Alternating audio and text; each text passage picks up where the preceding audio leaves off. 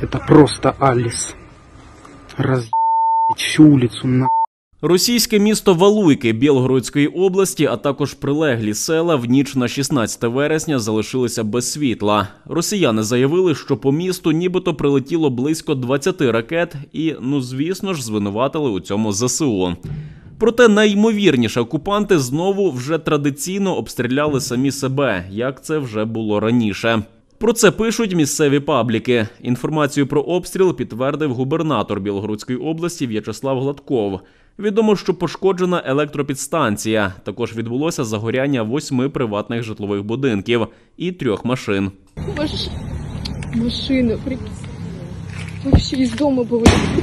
Что это? Взорвали соседний дом. Попала в сусідній дом. І скільки б рашист Гладков не звинувачував у обстрілах Збройні сили України, виходить в нього це поки що відверто не дуже. Самі ж росіяни вже все розуміють і прямим текстом пишуть, що їх розстрілюють свої ж.